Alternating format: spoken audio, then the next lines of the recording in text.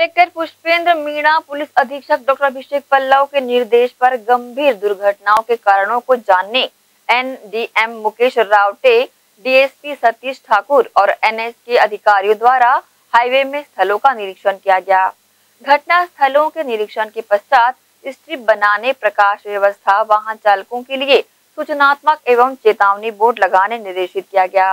अधिकारियों द्वारा विभिन्न क्षेत्रों का निरीक्षण किया गया और रोड मार्किंग कैट्स आई लगाने कर्मचारियों को निर्देशित भी किया गया।